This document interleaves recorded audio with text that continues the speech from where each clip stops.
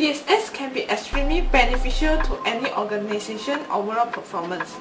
DSS are there to facilitate a manager in making operational decisions, but the ultimate burden of responsibilities lies with the manager.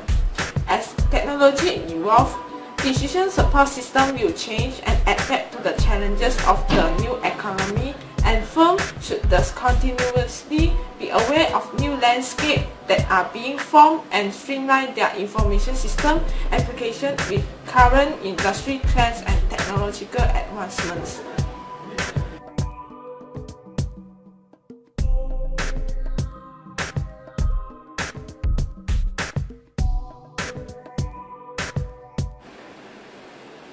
Thanks for watching.